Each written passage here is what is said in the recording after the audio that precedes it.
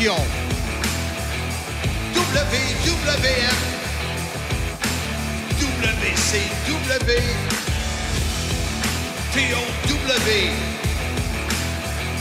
TNA, Impact Wrestling. Ici Marc Blondin. Bienvenue dans l'univers du sim. Depuis 1986, je vous divertis et je continue à le faire. Ici Jean-François Kelly, la légende vivante, animateur du sim. Ici l'incroyable Handsome GF, animateur du sim. Nous, nous, nous, nous sommes sim. Soyez-y, mesdames, messieurs, le podcast des fans du sport spectacle. Les rassemblements et les parties sont de retour. Le monde de Monsieur Fun est prêt à vous servir pour une 38e année. MonsieurFun.com, le site web 450-979-6386, 1-800-66 Le Fun. Le monde de Monsieur Fun, animation, musique, thématique et même le boombox. Le monde de Monsieur Fun. Alors, salut tout le monde, bienvenue au podcast Soyez-y, mesdames, messieurs. Mon nom est Handsome GF, en compagnie de, bien évidemment, Mr. Fun International, Top of the World, The Original, Vintage depuis 1958. Je vais peut-être faire changer ça. Pourquoi? Je voulais faire euh, vintage depuis 1968. Tu sais, je t'en ai parlé la semaine passée. Rhino trouvait que je- j'avais rajeuni. Puis, euh, tu sais, ma blonde, elle me dit T'as tellement pas de l'air de ton âge. Tout le monde me dit comment j'ai de l'air d'un jeune gamin. Même Mike Bailey me le dit.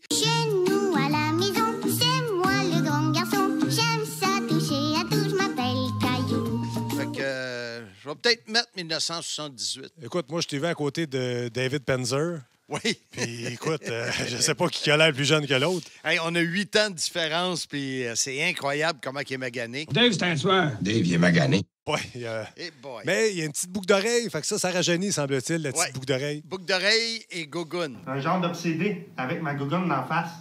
Il y avait la gougoune de même, puis il reniflait. Oui, ça te prendrait. Il y a beaucoup de gars à Gogun, euh, Oui. on va se le dire. Oui. Hey, fin de la parenthèse.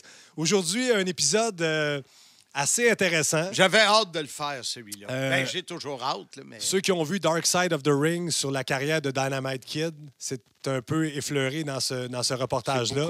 Ça a beaucoup changé la tangente et la carrière de, de ce lutteur-là. Euh, c'est l'incident Jacques Rougeau, Dynamite Kid. Mais avant de commencer dans le vif du sujet, Marc, tu voulais parler un peu de l'intimidation en général, parce que ça tourne autour de ça. Oui, puis écoute, Jacques euh, a, fait, euh, suite à ça, il a fait beaucoup, beaucoup d'années où il allait dans les écoles pour parler contre l'intimidation. Il a fait un travail vraiment sublime là-dessus.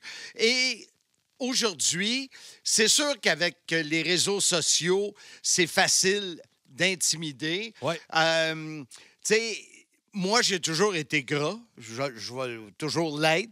C'est dans ma mon ADN. Je m'entraîne. Écoute, j'ai 63.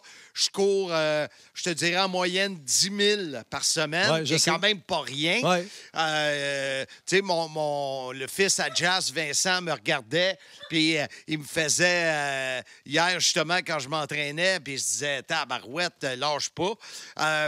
Et j'ai ce problème-là. Donc, jeune à l'école, jusqu'à temps que la puberté embarque, je me faisais niaiser. Je me souviens, dans l'autobus, il y avait un gars qui s'appelait Ticasse, Luc Cardinal, qu'on salue. Lui, c'est souvent les petits, hein? Puis Ouais. Dynamite Kid, c'était pas le plus grand. Non. Fait que lui, il prenait un crayon feutre, là, puis il me barbouillait les mains. Puis tu le salues en plus sur le podcast. Ouais, je sais même pas où il est où aujourd'hui. Après ça, c'était correct, mais l'épisode était que Oui. j'arrivais chez nous plein de marqueurs. Tu sais, un marqueur, euh, Ça part pas. Ça part pas facilement.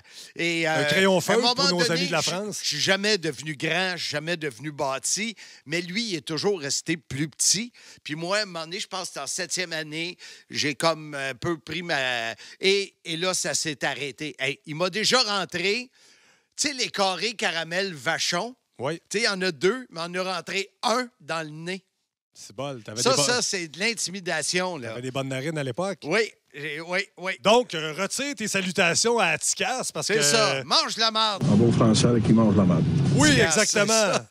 Et l'intimidation, mon père, après, je suis devenu euh, euh, en communication, euh, sûr de moi. euh, Ouais, c'est euh, avec une, une carapace, puis tout le monde me dit, tu me regardes, Pierre me regarde, il y a un aura autour de moi. Ah ouais, c'est extraordinaire. C'est incroyable, Laura, autour de Monsieur Fun International. Ouais, ben comme Pierre me disait, t'auras dû pas venir, là. Hey, boboy! C'est plus ça. Et Et bye bye-bye. bye! On va couper ça au montage. Fait que tout ça pour dire que je connais ça. Ouais. Et quand je suis arrivé dans WWF, euh, je m'attendais pas. euh, tu sais, à c'est quoi? Il n'y avait pas d'intimidation. euh, euh, dans les autres choses que j'avais fait.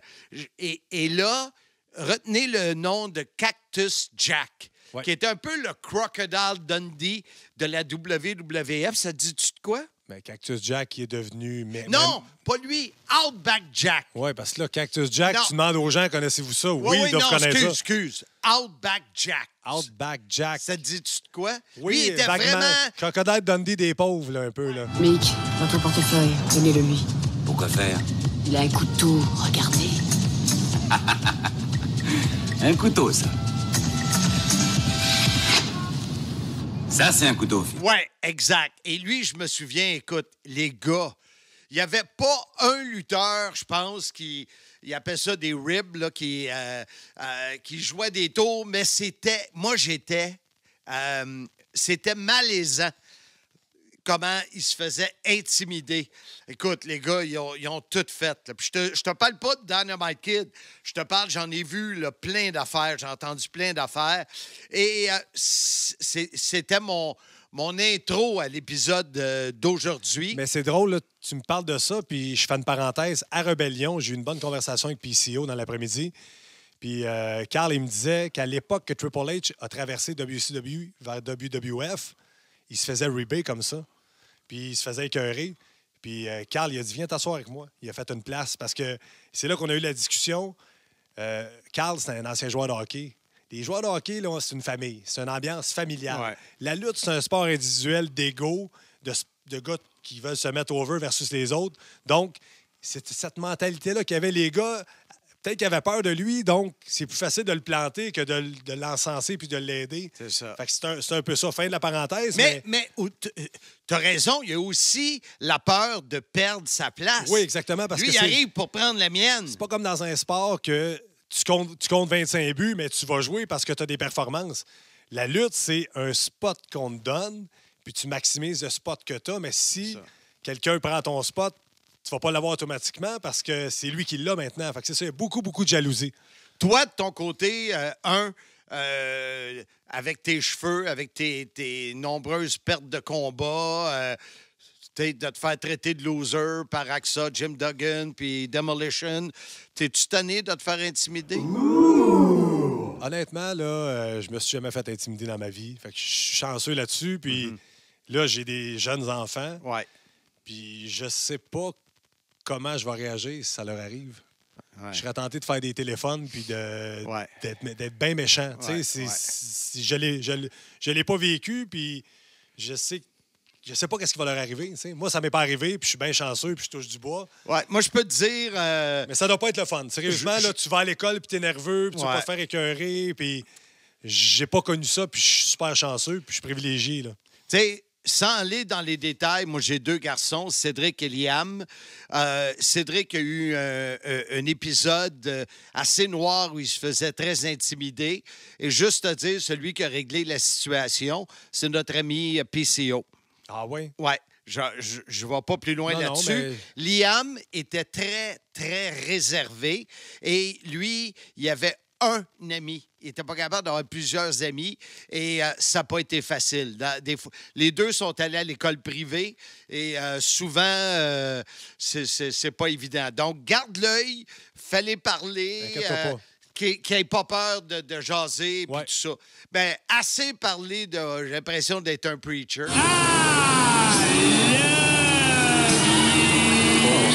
Praise the Lord! Mark Blondin, Mr. Ouais. Fun International. Il me semble que je serais bon. Et euh, on va faire une première pause. Oui. Et au retour, on met la table sur euh, justement l'intimidation qui a mené à l'incident Jacques Rougeau, Dynamite Kid. On met la table. The table is button, mesdames, messieurs.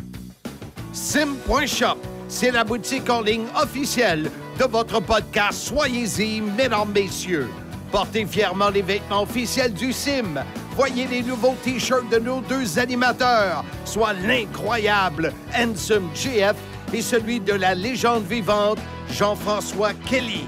Verre à bière, à vin, à whisky, verre thermos, lanière, tapis de souris, écusson autocollant et commande ta série de six cartes à collectionner sur ma carrière.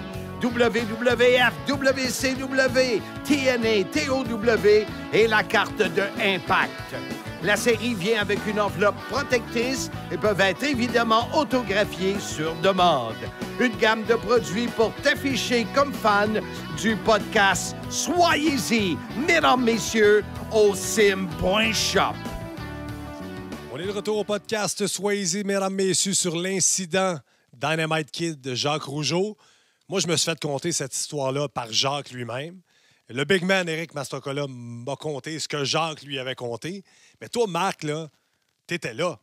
Tu faisais Oui. partie des quatre mousquetaires qui, qui assistaient à ça. Donc, peux-tu m'amener à ça un peu avant, si tu étais présent là-bas, ce que tu as vécu, comment tu l'as vu, qu'est-ce qui est arrivé, l'aftermath, comment ça s'est passé après? Veux-tu commencer Ben, là-dessus? Oui, écoute, moi, j'ai pas.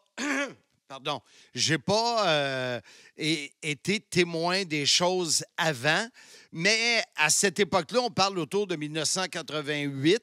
euh, souvent, Jacques et Raymond euh, m'attendaient dans les différents aéroports aux États-Unis.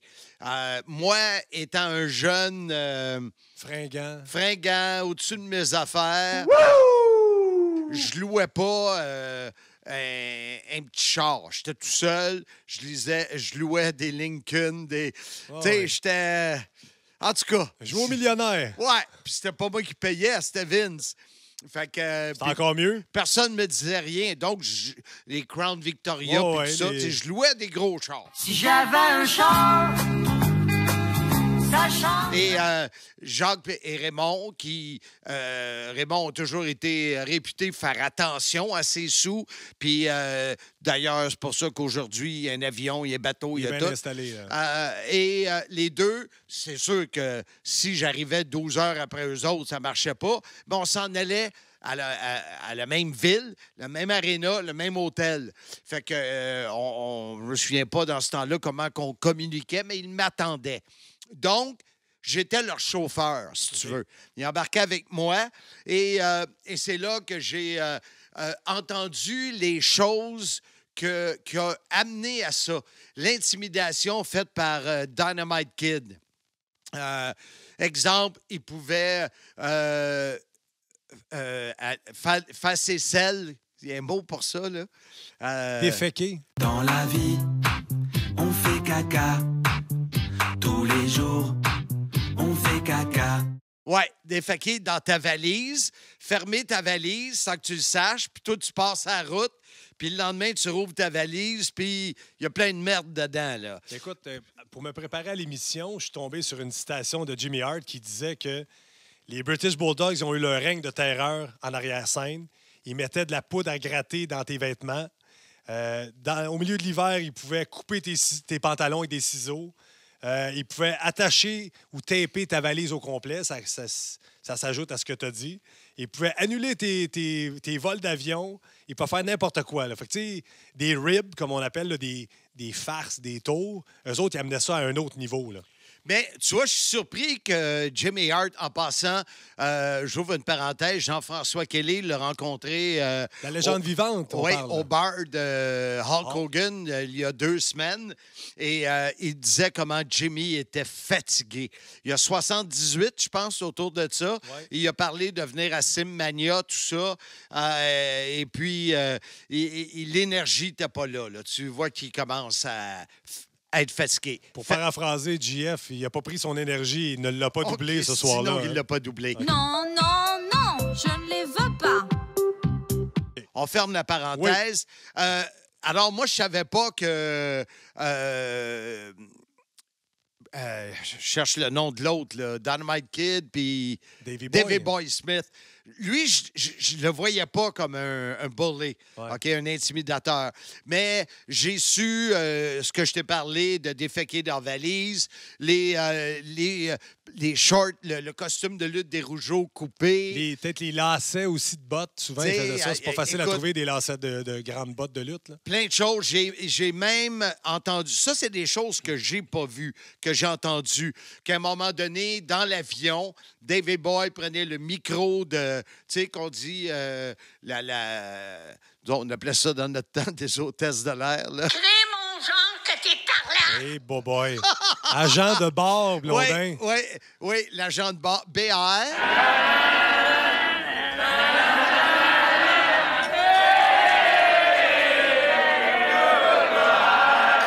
Oui, exactement. OK. Ça peut être Et ça aussi. Lui, il prenait le micro, puis il écœurait les rougeaux dans le micro de l'avion.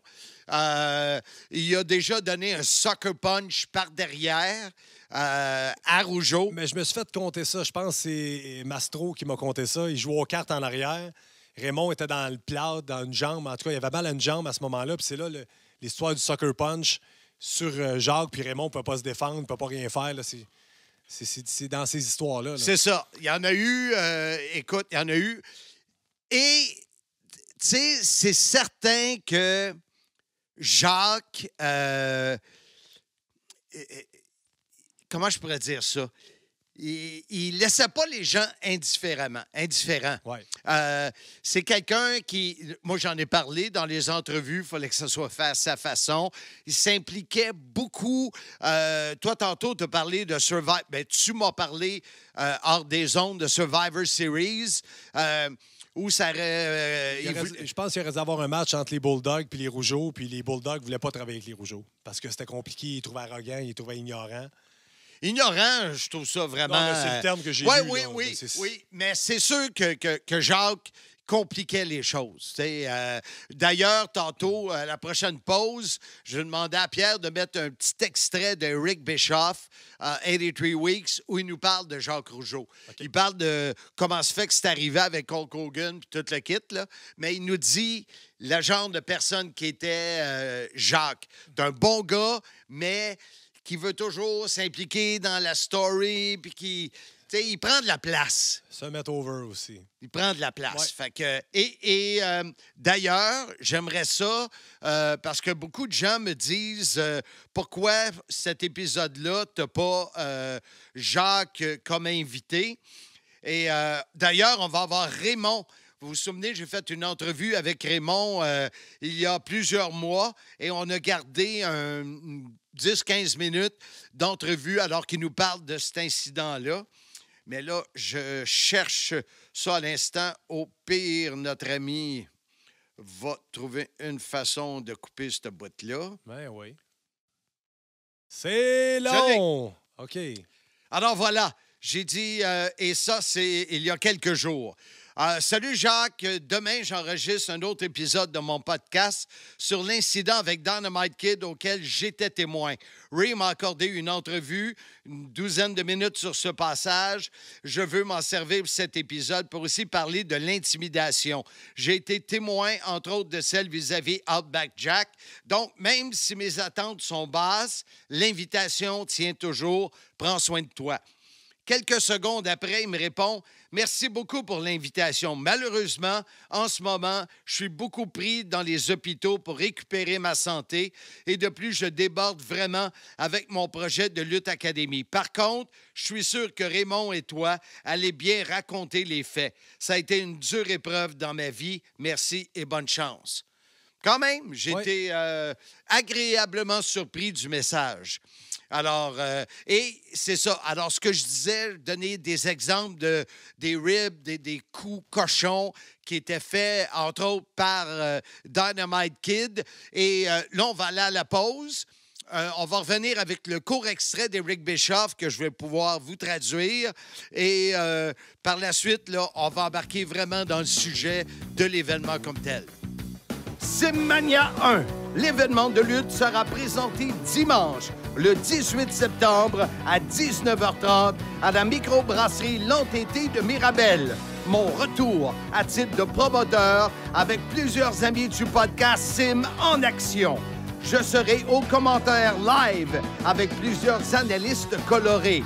Billets disponibles sous peu. Admission générale, VIP près du ring et table VIP de 8 personnes. La quantité est limitée. La vente débute sous peu sur le site lepointdevente.com Simmania 1. Détails des lutteurs et combats à venir sous peu.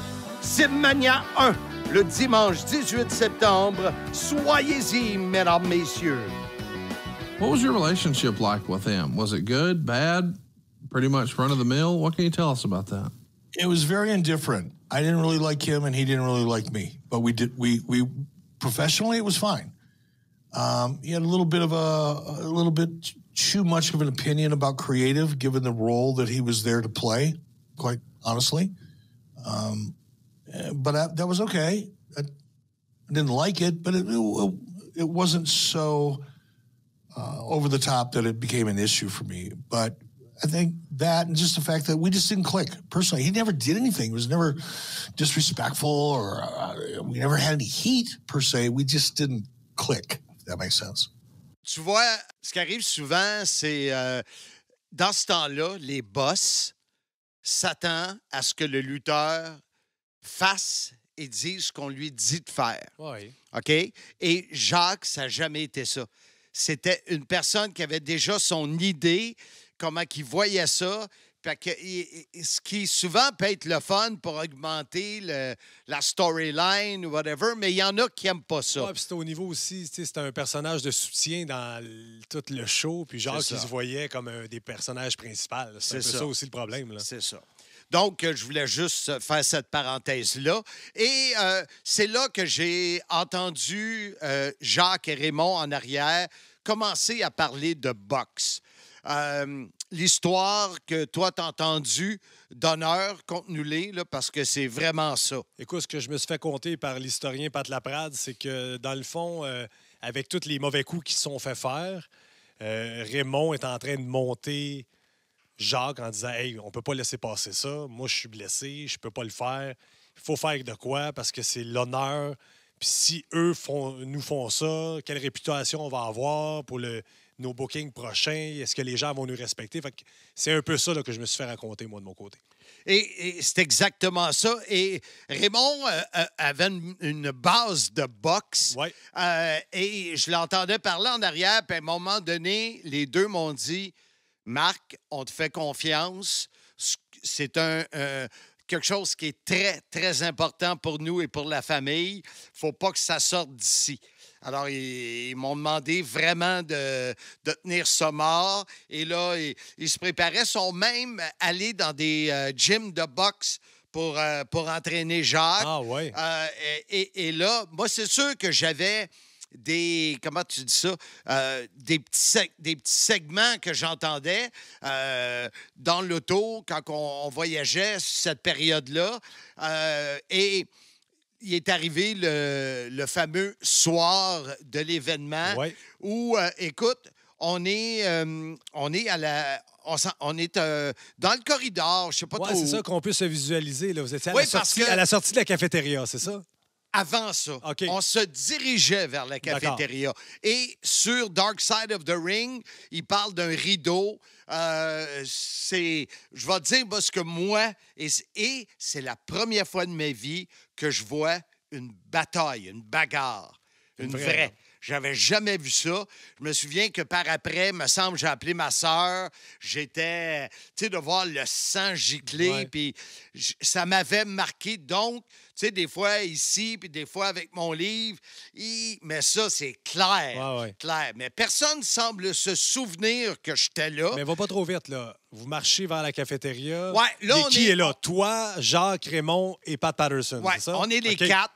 Euh, on se dirige euh, et Raymond aperçoit dans la cafétéria David Boy qui se lève pour sortir de la cafétéria. Et c'est là qu'il donne le, Le rouleau de 25 sous. à le Jacques. Q. Je ne sais pas s'il donne le rouleau ou si Jacques l'avait. Mais il était oui, prêt. oui, il avait un rouleau de 25 sous euh, dans la main. Qu'est-ce qu'il a dit? Tu te rappelles-tu les, les mots Non, exacts? non, OK. je me Ben, souviens ça- pas parce que, un, je ne sais pas ce qui va arriver. Euh, je le sais par après qu'il y avait un rouleau. T'étais Je- pas au courant de ça, J'ai jamais y- vu. qu'il y avait une gimmick qui était prêt non, avec ça. Non, je savais pas que c'était là. Et quand il donne le signal à, à Jacques, on dirait que tout, c'est comme, tout est au ralenti. Premièrement, Pat, il allume. Puis là, Pat, il veut s'en mêler. Euh, moi, euh, la chienne, je me tasse. Et euh, Jacques, qui est dans sa bulle. Puis Pat, il veut vraiment empêcher ça. Mais là, toute la gang Raymond- sort, toute la gang sort avant Davy Boy, avant Il y a juste Davy Boy qui s'en OK, vient. OK, OK, OK. Ils sont pas 40, là, Non, rien que ça. lui. Là. Euh, et euh, là, c'est ça. Raymond s'occupe vraiment de barrer le chemin à Pat Patterson. Et euh, euh, David Boy sort et écoute, euh, Jacques, il a jamais, jamais donné une seconde de chance. Il t'y a slugué Non, ça. non, non, mais là, D- Dynamite, pas Davy Boy. Euh, Dynamite. Euh, Dynamite Kid, excuse, pas pourquoi Ouais. j'ai dit ça. Des fois, je me mélange entre les deux. Ouais. Même des fois, je pense que c'est Mathilda. Mais c'est ça. Euh, Dynamite Kid sort, Jacques le slug, tombe à terre, continue à le frapper. Euh, Pat qui crie Les gars, Jacques, tu vas te faire crisser dehors par Vince, arrête. Euh, là, c'est le free-for-all. Euh, ça, ça a duré, écoute, peut-être euh, 30 secondes. Ben, écoute, moi, de ce que je me suis fait compter, il donne un coup de poing, Oui. mais il tombe pas. Est-ce que c'est vrai qu'il est pas tombé après le premier coup Moi, de je poing? le puis- vois à terre, en tout cas, avec le sang. Parce que moi, ce qu'on m'a raconté, c'est qu'il donne un coup de poing, puis il fige. Puis là, Raymond, il dit Jacques, continue, frappe. Puis là, c'est là qu'il frappe un peu plus. Mais écoute, Ben, moi, écoute, j'étais pas là. Fait que c'est. c'est- c'est- moi, ce que je vois, c'est le sang giclé de. Puis Il je l'a pas manqué, il l'a pas manqué. Que Jacques continue à le bûcher. J'ai pas filmé les images. Mais il l'a pas manqué. Mais il l'a pas manqué. Ouais, L'autre, oublie ça, il s'est pas levé pour dire euh, OK, je t'attaque. là. Oublie ça, il est plus là, là. Puis là, les gars sont arrivés. C'est ça que j'ai trouvé spécial. C'est qu'il n'y a personne qui a sauté sur Jacques. Tu sais? Ouais. L'intimidateur, là, il n'intimidait plus que Jacques Rougeau. c'est ça. Il n'y a pas tant de monde que ça pour le baquer. Il n'y a personne que de, de de mes souvenirs à moi qui sont sortis. Parce que là, tout le monde sait il y a eu un, euh, un attroupement. Une là. commotion autour de T'sais, ça. Tout le monde s'est approché. Puis là, euh, je sais que, euh, tu sais, Pat, euh, avec. puis là, j'ai entendu quelqu'un dire Vince veut vous voir. C'était-tu cinq minutes après, whatever. Les gars voulaient aller voir Vince. Mais il n'y a personne qui a sauté ces rougeaux, là. Non, non. Personne, de mon souvenir. Fait que euh, c'était. Moi, ça m'a traumatisé de voir. Je revois, à chaque fois que je te le dis, je revois l'image Ouais, du le sang sang qui revole. qui revole. C'est euh, c'est quelque chose, mais on dirait que ça l'a ça l'a changé beaucoup de choses euh, euh, qui ne devaient pas être. Mhm. ça devait, tu devais pas te faire intimider de même. Puis moi, Jacques a ses défauts, on le sait tous, mais à cause de ça, ou grâce à ça, j'ai un immense respect pour ce qu'il fait. Pour sa famille, oui, mais contre les intimidations et les intimidateurs. Puis pour sûrement beaucoup d'autres boys backstage qui subissaient les mêmes frasques des, des Bulldogs. Exact. Fait que j'aimerais ça qu'on écoute euh, après la pause ce que Raymond nous a raconté sur cette, euh, cet événement-là, cette bagarre-là. Parfait. On s'en va à l'entrevue de Raymond Rougeau tout de suite après la pause. La microbrasserie Noire et Blanche est heureuse de t'offrir une deuxième cuvée de la Bitter Bessieux, ma bière surette aux cerises. Pour cette deuxième saison, nous offrons cette bière estivale dans une série de 12 étiquettes différentes, idéale pour les collectionneurs et amateurs de bière. André le Géant, Ted DiBiase, Bam Bam Bigelow, Jake the Snake Roberts, Ric Flair, Axa Jim Duggan, King Kong Bundy, le Barbier Brutus Beefcake, Roddy Roddy Piper, Ultimate Warrior, Macho Man et le Hulkster.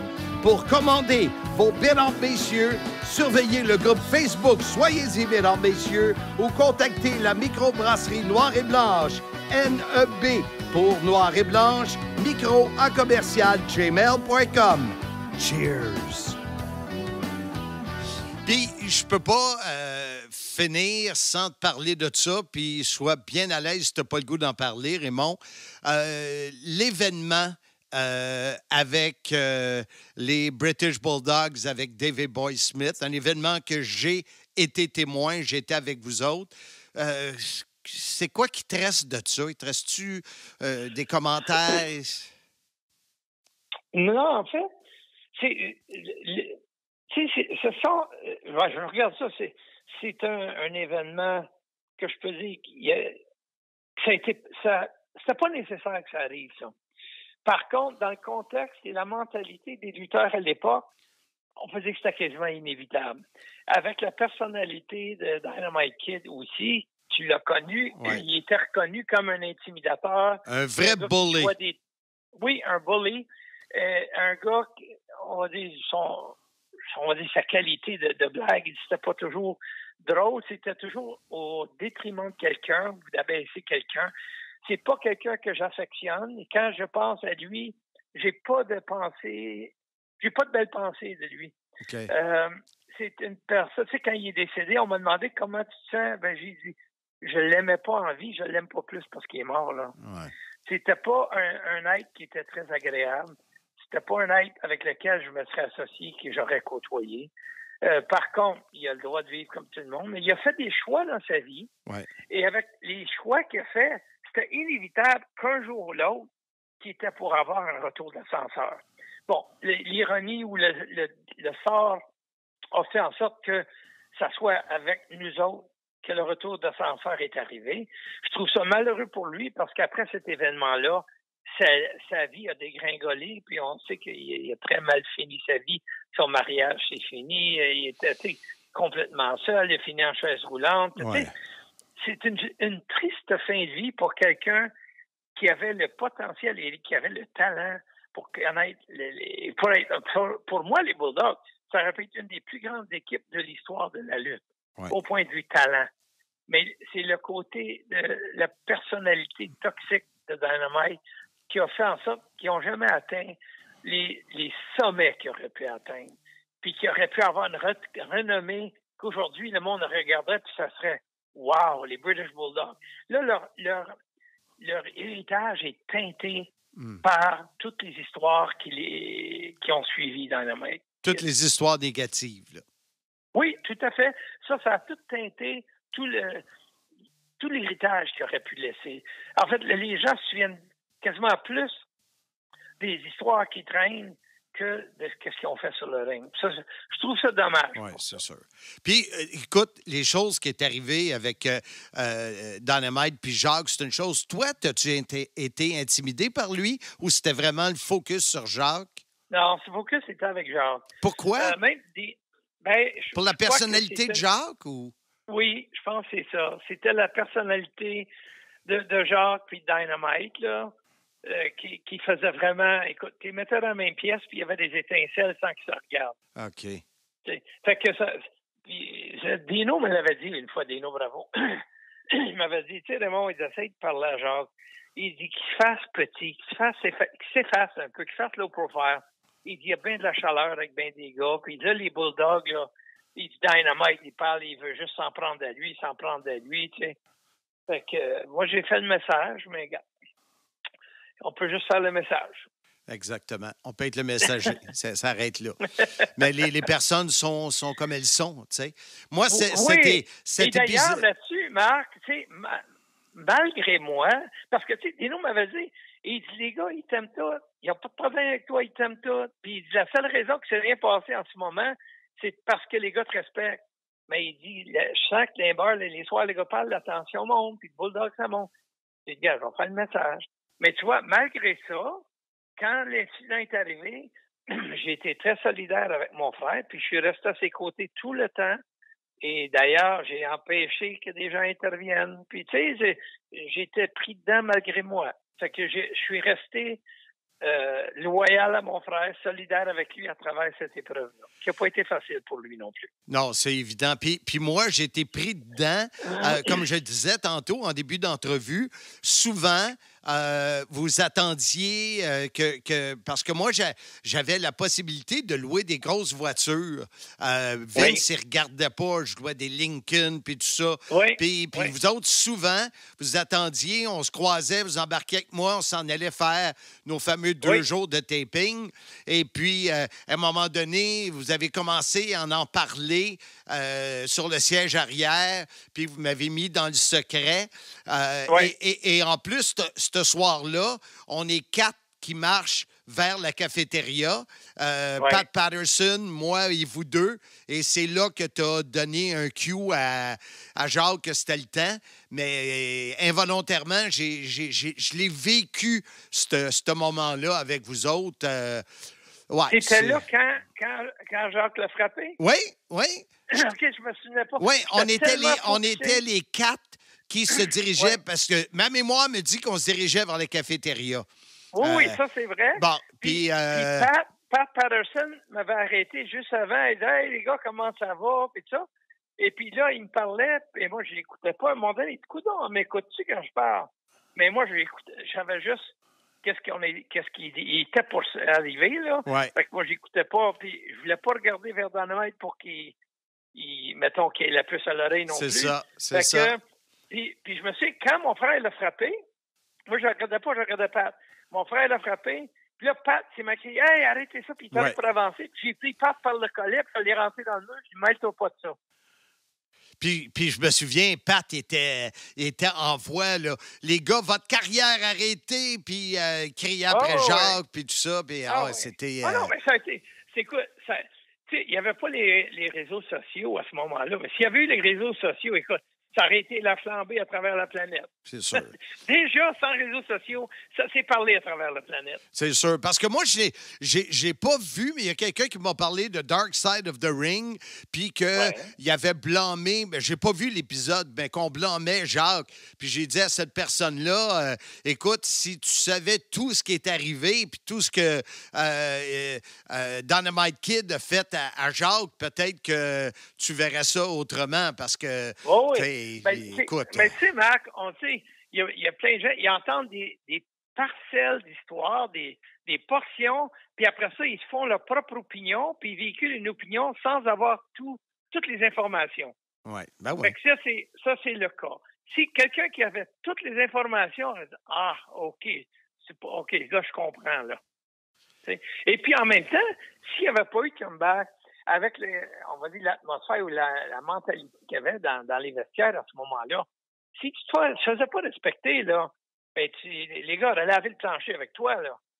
Il fallait que tu te fasses respecter, sinon ça aurait été invivable. Ça aurait- on n'aurait jamais pu rester là. Hey, Il y avait de la testostérone au pouce carré, là. Euh, C'était même pas drôle. Ouais. Y a-tu des gens qui, qui sont venus vous voir par après, des lutteurs intimidés, puis que, que- qui, qui vous ont remercié ou qui ont remercié Jacques? Ben oui. Ben Oui, oui, hein. ben oui. Mais des gens qui restaient- souhaitaient rester dans l'anonymat Ouais. parce qu'ils craignaient les représailles du Bulldog. Ouais. S'ils savaient qu'ils étaient contents de ce qui s'était passé. Mais il y en a eu plus que tu peux t'imaginer. J'imagine. Moi, on parle d'intimidateurs. Il y en a un que j'ai trouvé qui fait pitié. C'était Outback Jack. Ben oui, ben Hey, oui. lui, a été là. la victime. Ils, ils ont ruiné sa carrière, à ce gars-là. Mais c'était qui? qui C'était-tu eux autres qui l'intimidaient ou tout le monde? Il me semble qu'il y avait Non. tellement de monde qui le niaisait, là.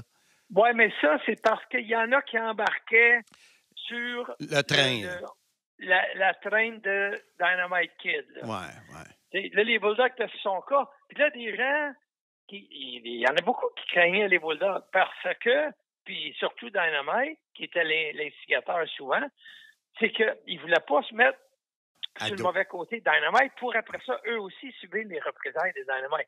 Fait que si Dynamite faisait quelque chose comme il a fait des, des choses, pour moi, c'était- limite de criminel à Outback Jack, ben, il n'osait pas le contredire ou dire que c'était pas cool parce que là, Dynamite, s'il avait pas été content de la réaction, il aurait pu se mettre sur leur cas aussi. Fait que les gars, ah oui, oui, ah, c'est super. Puis même des gars qui agaçaient Dynamite, euh, pas dans, ils, ils agaçaient Outback Jack, c'était pour montrer à Dynamite, regarde, regarde, on est sur ton bord. Parce que les gars le craignaient tellement. Hey, Puis si aujourd'hui, c'est quelque chose qui est impensable. Ah, on, dénonce tellement ça. Jacques le Écoute- fait beaucoup dans les écoles, là, tu sais. Ben oui, ben oui. Il a parlé beaucoup d'intimidation envers les jeunes, des intimidations sur les réseaux sociaux. C'est inacceptable aujourd'hui. Mais à cette époque-là, c'était comme ça. Fait que, puis, puis je vais te dire, quand je suis revenu à la WWE en 2017 avec Jean Brassard, qu'on faisait les pay-per-views tous les mois, là, j'ai J'étais parti, moi, de 2002 à 2017. J'étais 15 ans parti de là. Quand je suis revenu, la première chose que j'ai remarqué, c'était le changement de l'atmosphère dans les coulisses, le changement de- du monde. Écoute, on parle de. C'est le jour puis la nuit. Ah oui. Et c'est ça que j'avais. J'ai dit, ah, Jean, c'est incroyable. C'est beaucoup plus professionnel, plus encadré, plus. Il n'y a, pas de tolérance pour des, des choses qui se passaient à cette époque-là. Plus business Euh, sais, aussi. Pardon? Plus business. C'est des gars d'affaires aujourd'hui aussi. Ben oui, ben c'est ça, c'est ça. Tu sais que tu parlais, oui, il y a encore du testostérone, mais c'est pas, c'est pas à l'avant-plan comme à cette époque-là. À l'époque, on peut dire, il y avait plus de brutes qui étaient là. Aujourd'hui, ce sont des, des hommes d'affaires. Ouais. Fait que la mentalité a changé. Il n'y aurait pas de tolérance. Il y avait des, des, des jeux comme il se faisait à l'époque, d'intimidation et des coups. Il- la personne serait congédiée sur le champ. Merci, bonjour. On n'a pas besoin de ce contaminant-là pour euh, tout miner l'atmosphère que tu peux avoir en coulisses. C'était complètement de- destructeur. Il n'y avait rien de positif là-dedans. Aujourd'hui, je regarde ça, c'est beaucoup plus. C'est sûr qu'il y a encore des accrochages. Ben oui. ben Parce oui. que ce sont quand même des gars qui ont des personnalités, des tempéraments. Des égaux. Euh, puis c'est des athlètes. Bon, c'est sûr qu'il faut avoir des accrochages, mais ça n'a rien à voir. C'est une garderie aujourd'hui à comparer à ce que c'était à l'époque. C'est maternelle. tu sais. Je, je trouvais ça beaucoup plus agréable quand je suis retourné. Là, j'arrivais en coulisses. Puis là, je saluais tout le monde. C'était le sourire. Hey, hello, Mr. Rouge. Tu sais, il y avait du respect, il y avait de la politesse. Ah, ben c'était vraiment, vraiment autre chose. là. C'est officiel.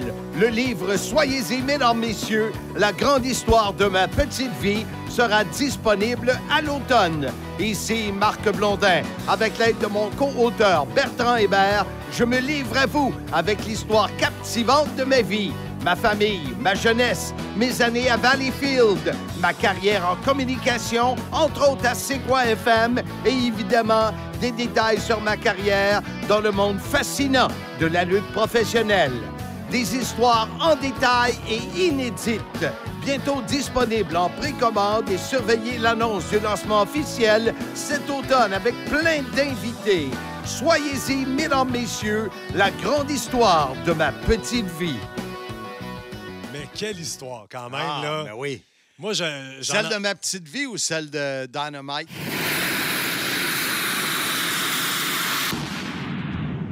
Non, non, je- la tienne est bonne aussi. Là, on en parlera peut-être tantôt. Mais quelle histoire? Moi, je l'avais entendu à gauche, à droite, l'histoire euh, a toujours flotté dans l'air. Mais toi, tu étais là. C'est quand même assez incroyable. Là. Puis eh, Raymond ne se souvient pas que, que j'étais là. Il s'en souvient pas. Quand j'ai parlé avec Pat Patterson, il se souvient pas que j'étais là. Jacques se souvient pas que j'étais là. Ça qui est drôle, c'est que on dirait que euh, ben c'est sûr que un j'étais qui? Non, euh, mais tu dis que tu étais. Tu sais, ils ne se souviennent pas que tu étais là. Dark Side of the Ring, tu dis que tu, l'as- tu m'as dit ça à micro fermé. Tu as regardé ça, puis c'était pas exactement. Ça n'a pas été décrit exactement comme toi. c'est pas le même film que moi j'ai dans C'est ma ça, tête. puis toi, tu étais là, donc eux, ils ont oublié Ben, que tu étais là aussi. Parce que ce qu'on n'a pas dit, on, est arrivé devant la porte de la cafétéria, mais on est partis les quatre pour marcher vers la cafétéria. On a peut-être fait de 150 pieds les quatre Québécois en parlant. là. Je Ça suis s'est pas, fait- je suis pas arrivé comme hop m'embarquer avec eux autres. Ouais. On partait de, mettons, je sais pas moi, la salle d'entrevue ou les bureaux de production. On s'en allait vers le catering. Ah, Vous les attendiez pas sur le bord de la porte. Là. Moi, l'histoire. Non, que- c'est ça, c'est ça. On, on marchait ça, ça vers... a été, ça, ça s'est fait de même parce que vous marchiez vers là, puis il est arrivé. Mais eux autres l'ont- planifié peut-être. Ils l'ont planifié. Mais vous parce étiez qu'il y pas les le bras croisés. l'avaient. pas les bras croisés à côté de la cafétéria à attendre qu'ils sortent. Là. Ça s'est fait Non. plus.